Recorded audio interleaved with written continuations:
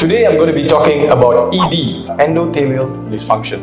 Now, endothelial layer is the innermost layer of our blood vessels. It produces a very important mediator called nitric oxide. Nitric oxide plays an important role in vasodilation. In other words, it expands your blood vessels. Nitric oxide also has three main benefits, namely anticoagulation, anti-inflammatory and antioxidant. Lacking in nitric oxide levels leads to stiffer blood vessels, loss of anti-inflammatory and antioxidant effect systemically, increases oxidative stress and increases cardiovascular events in the future. So who's at risk?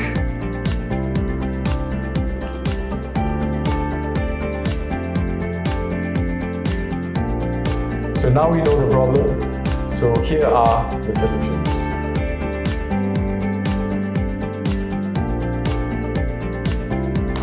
It's time to get up and start moving.